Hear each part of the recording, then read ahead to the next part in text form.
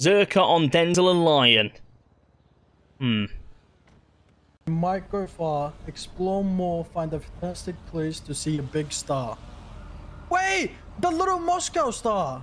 Oh, he's fucking cut the whole Hey, you're thing. right, you're right, you're right. The right. little Moscow star! The He's little cut the whole Moscow thing. star! That's the big star. No? Good luck, good luck, Steve. You got this, bro. I'm not involved. I am not involved. You got this, Steve. I Good am not involved. You need to not have. You need to have, not I have am not Denzel and uh, All right, I'm gonna have to be. A, I'm gonna have to be a. Lyon in there because they're too smart. They're both smart Nah, dons. Dead, this Dead loves Steve, bro. Nah, Dead loves Steve. He make- maybe he needs to make some like to get you. dumb ones that smart bro. people can't get. You know what I mean? No, that that's true. No, Bro. Zerkaa's actually right. He's actually right.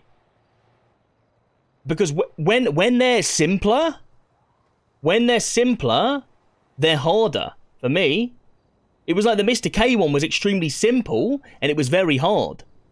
I like T riddles. Like T riddles are like definitely what like getting me thinking, and then my overthinking like hits with T's riddles. You know.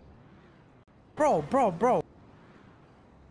Nah, man, I, I'm, I'm, I'm, I'm kind of, I'm, I'm sad I missed out on that last night. But if he's doing this, uh, like the Riddler arc and all this kind of stuff, I'm actually really excited. I'm, I'm, I'm actually gas for it. Um, try and be around as much as I can in A and stuff, and uh,